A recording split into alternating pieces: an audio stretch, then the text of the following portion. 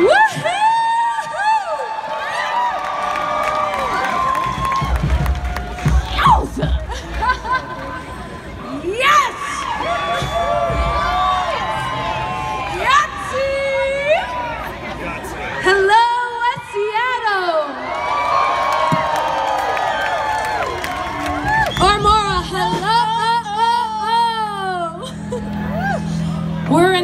Of a Twin Peaks tunnel these days, so. Uh...